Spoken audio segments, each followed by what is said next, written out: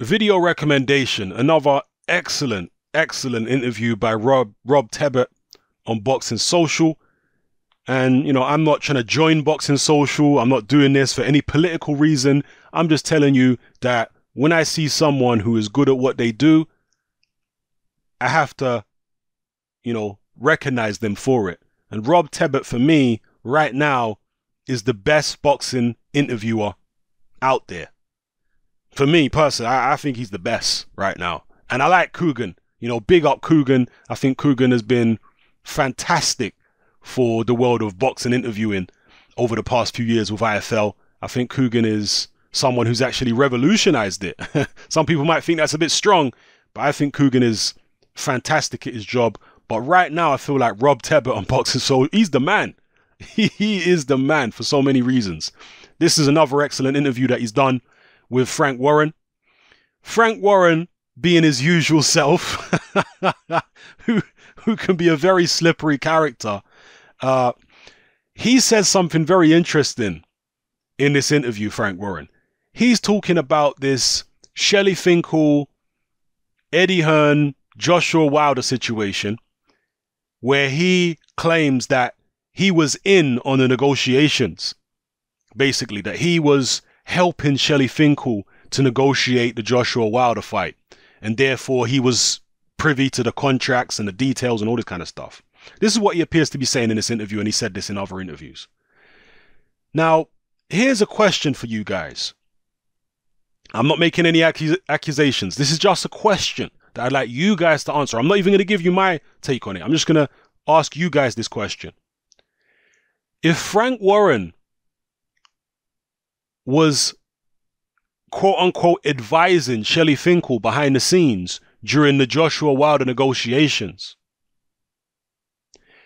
did Frank Warren really want the Joshua Wilder fight to happen? Or did he want the Wilder Fury fight to happen all along? That's just a question. Did he give Shelly Finkel advice that would make the Joshua Wilder fight more likely to take place? Or did he have a vested interest in trying to scupper or sabotage that fight getting made? I'm not making any accusations. I'm just asking a question. I don't know. I've got no idea. I'm just throwing it out there because Frank Warren is a very ambitious man. He's an extremely determined man. One of the most determined people I've ever seen in boxing is Frank Warren.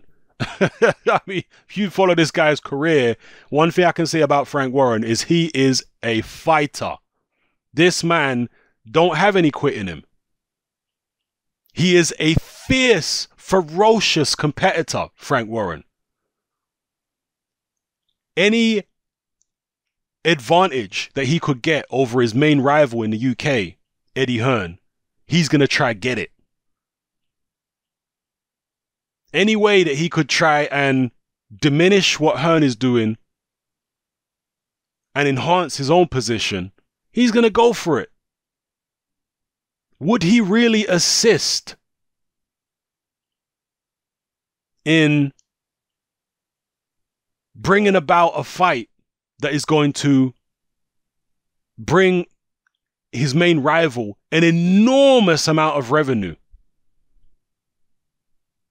Would he do that? Now, some people might say, well, perhaps Warren really believed in Deontay Wilder and he was helping Shelly Finkel because he wanted Wilder to go in there and smash Joshua to pieces. Maybe. Maybe. None of us know for sure. You know, but at the end of the day, even if Wilder did go in there and smash Joshua to pieces, there would have been a rematch. And in the first fight and second fight, Hearn would have made an enormous amount of money. Would Frank Warren really want to assist in his main rival making that kind of money? You guys tell me. I mean, I don't know. It's all just speculation. None of us are insiders here. Okay? I'm just putting it out there for people to contemplate. But that's what he says here that he was, you know, behind the scenes helping Shelly Finkel I don't know exactly what capacity advising him or what he was doing, helping Shelly Finkel behind the scenes in the Joshua Wilder negotiations. I find that really odd, you know, uh, but it is what it is. So he talks about that. He also talks about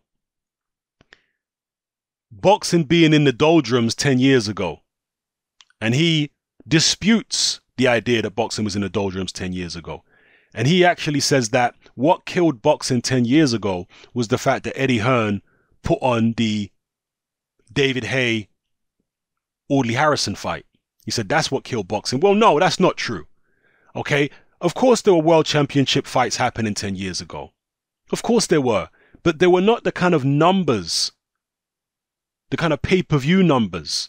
And boxing was nowhere near as popular 10 years ago as it is now. This is a fact. I'm, I'm talking about in the UK here.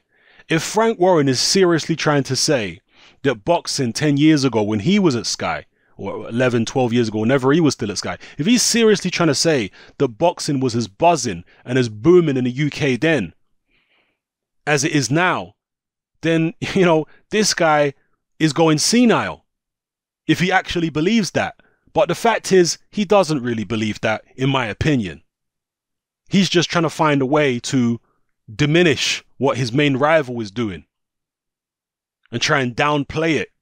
That's what he's doing. He knows damn well that boxing is in a far better state now than it was 10, 12 years ago in Britain.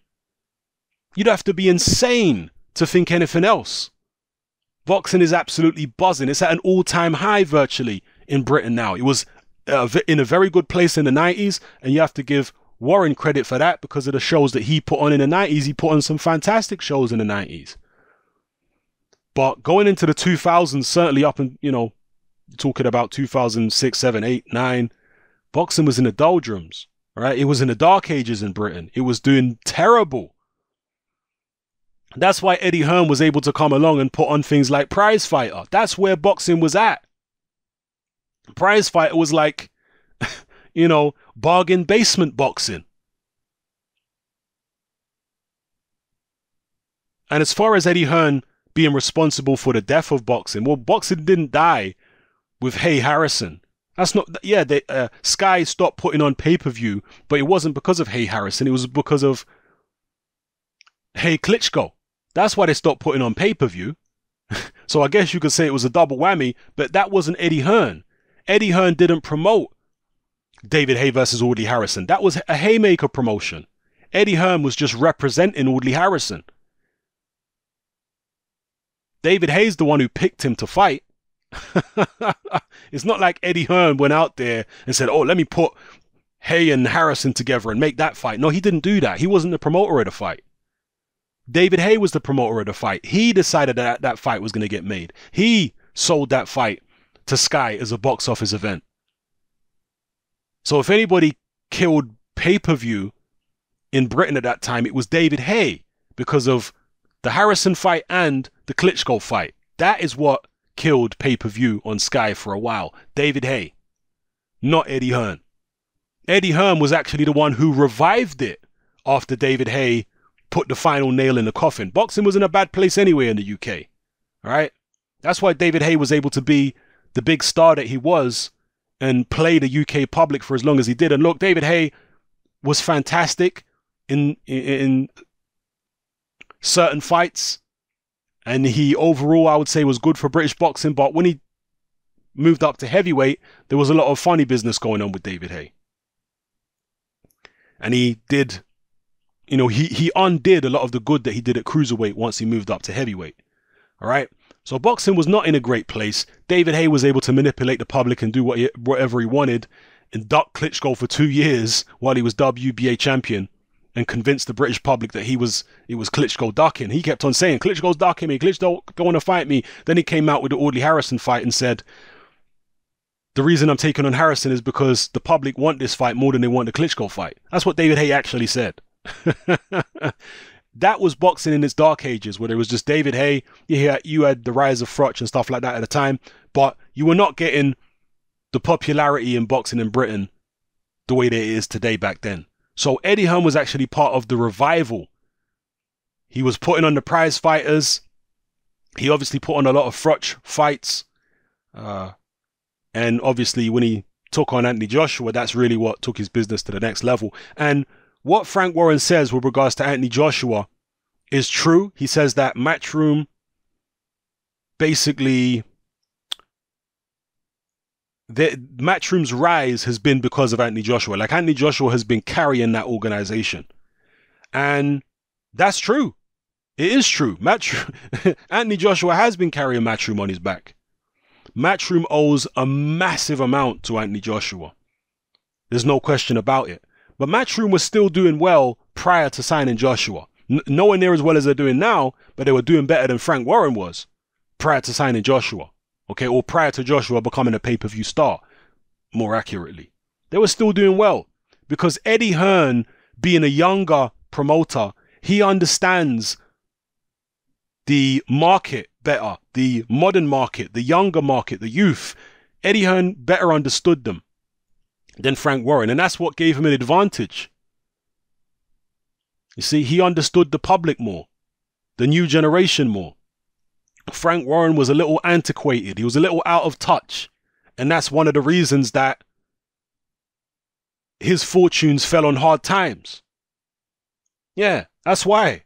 it wasn't just the Sky situation where, and he, I believe, Frank Warren, I can't remember how it went down now. Did he walk away from Sky or Sky said that they were going to do the exclusive deal? I think Frank Warren walked away first. I can't remember now.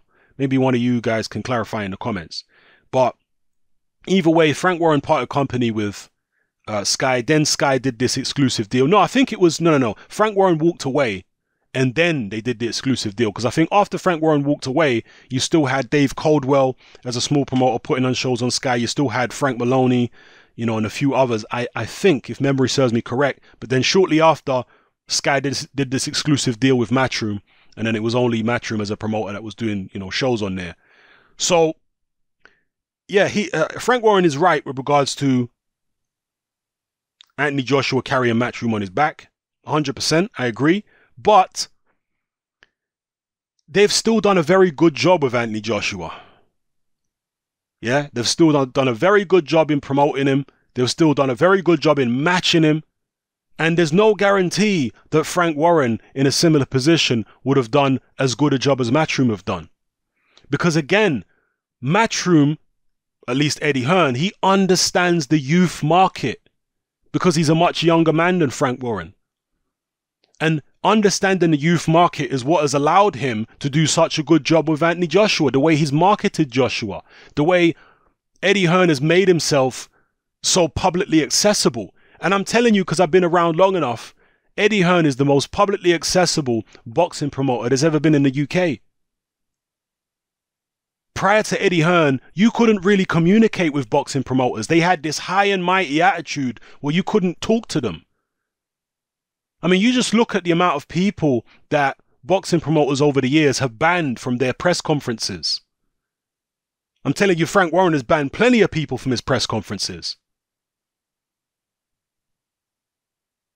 I remember Steve Bunce talking about how I think it was Mickey Duff who banned him from press conferences. They banned loads of people from their press conferences. With Eddie Hearn, he's got these Deontay Wilder fanboy trolls who turn up to his press conferences, and Eddie Hearn lets them in time after time and he'll speak to them. You understand? And I know he don't like these guys and I know he finds it frustrating and he gets upset, but he does it because why? He understands it's going to cause hype. He understands that you have to talk to these young people. You have to talk to the youth because this is where popularity comes from. It comes from what's going on with the youth. And the youth right now are on YouTube. They're starting their own YouTube channels and they're going out interviewing fighters. And, you know, many of them have got 100,000 subscribers and all this kind of stuff. Eddie Hearn understands how important it is to actually speak to people like that, even if these are people who don't like him. That's how he stays relevant. You see, these are the things that Eddie Hearn understood from very early on. Frank Warren never understood. Frank Warren dismissed social media. He dismissed Eddie. Oh, Eddie, that Eddie Hearn, he's always on that Twitter. That's all he ever does. He didn't realize how important Twitter actually is. How many other boxing promoters, major boxing promoters, are actually active on Twitter as themselves, not having somebody else handle their Twitter account for them and put the tweets out for them? Eddie Hearn might be the only one, right? Because he understands that's what it takes. You see, so it's not just a case of Anthony Joshua, uh, you know, carrying Matchroom on his back, and that's all there was to it. And Matchroom really did nothing; they're just along for the ride. No, Eddie Hearn knew a lot about the market. As a younger person, he understood the current zeitgeist among young people. He understood the mentality. He understood what they wanted. He understood how to how to connect and engage with them and how to sell to them. Frank Warren did not understand these things. And that's why he's lost his way a little bit in the past few years since Eddie Hearn has come on the scene. Because Eddie Hearn is just doing a better job. That's the reality of it. He's doing a better job. Now, Frank Warren can still put on good fights. He's very experienced. He can still negotiate and all that kind of thing. But he's not as fan friendly in terms of the fans being able to connect with him. He doesn't understand the boxing fans today as well as he did in years gone by because it's a different generation. And some of Frank Warren's business practices, I'm not going to go into specifics, but some of Frank Warren's business practices might be a little antiquated. That's all I'll say, okay? Some of his business practices might be a little antiquated. And some of his rivals like Hearn, etc., might be a little more progressive when it comes to some of their business practices than Frank Warren is. And that also may be another reason why people like Eddie Hearn are doing better than him. It's not just down to him signing Joshua and that's it. No, no, no, no, no. If he believes it's just that, then he's never going to catch up to Matchroom again. He's never going to if he believes it's just that. But maybe he doesn't. Frank Warren is a smart guy. He's an egotistical guy. he's a control freak, in my opinion. But he's a smart guy. So maybe in his heart of hearts, he knows where he's at fault. But he's not in the business of admitting his faults generally, Frank Warren. He's not in the business of doing that. He's in the business of pointing out the faults or what he sees as faults of his competition. That's that's the business that he's always been in. of trying to smear whatever his competition does and big up himself. That's the business Frank Warren's in. And to be fair, Hearn and the other promoters, they pretty much do the same thing. Yeah, let's not make out that Eddie Hearn is 100% fair to Frank Warren. Eddie Hearn is saying this Deontay Wilder Fury fight ain't going to happen. Ah, oh, it's not going to happen. You know, blah, blah, blah. To me, that's wishful thinking on Eddie Hearn's behalf. Eddie Hearn don't want the fight to happen. he says he want. He say he says no, it's a good fight. No, no, no. Eddie Hearn don't want Deontay Wilder Tyson Fury to happen. Let's be real. So that point right there, I have to agree with Frank Warren. Yeah, that Eddie Hearn's just you know, uh, that's the competition coming in. You know, Eddie Hearn gritting his teeth like, oh, are they really gonna make Wilder Fury? What? so Frank Warren there, I can definitely agree with him. Uh, but yeah, you have to look at things logically. You have to know Frank Warren's history. A lot of people don't know his history. You know, a lot of people hear me talking about Frank Warren and being somewhat critical sometimes, and they think I'm being harsh. No, I know the man's history. If you know his history, if you know how he's behaved over the years, if you know where he's contradicted himself, if you know the the patterns then you'll understand and you'll put the things he's saying today in context. You see? So, anyway, I recommend this interview. Once again, Rob Tebbett. I'm not looking for a shout out from Boxing Social, by the way. Rob Tebbett, if you're listening, you know, you shouted me out before. One shout out, shout out is good. You don't need to keep shouting me out or anything like that. I'm not looking for no shout outs. I just want to say, you know, fantastic work that Rob Tebbett is doing on Boxing Social. They need this guy. I, again, I don't know who is the proprietor of Boxing Social, but I'm not, uh, you know, I'm not suggesting that Rob Tebbett abandon you guys. Uh, all I will say though is Rob Tebbett needs to be on BT Sport or Sky or he, he needs to be on a big platform, really, this guy. I heard him in one of his uh, interviews saying that he he's not even driving. Right, this guy should not only be driving, he should be driving a, a Ferrari or something. This Rob Tebbett guy, because he's very good at his job. An excellent interviewer. Right now, he's the best in the game, as far as I'm concerned. So yeah, he needs to be working for one of the big companies if he wants to. Some people don't want to work for big companies. Like me, for example, I've got no interest at all in working for Sky, in working for BT, in working for HBO, because some people have said this over the years. I mean, I don't, I don't necessarily think I'd be a good fit for any of those organizations, but even if they did contact me and want me to come work for them, I would turn it down, even though it would increase my money, right, by a, a large amount, my yearly income. I'm not interested in that because I don't like working for people. I'd rather take less money and be independent and have my freedom and not have to ask permission when I'm going to take time off and go on holiday. No, I'd rather eh, take less money and retain my independence. You know, so it's not for everybody, but a lot of people are happy working for other people, and there's nothing wrong with that at all. Do you understand what I'm saying? So I don't know what uh, kind of guy Rob Tebbett is with regards to that, but if he is the kind of person who you know is cool working for people, then he needs to be you know, working for Sky or BT or somebody, because that guy is very, very good at his job. So definitely shout out to that channel. Shout out to Rob Tebbett, doing a fantastic job with uh, the interviews. The best in the game right now. Anyway, drop your comments in the comment section below. Let me know how you feel about everything I've talked about in this video. It's happening. I'm out.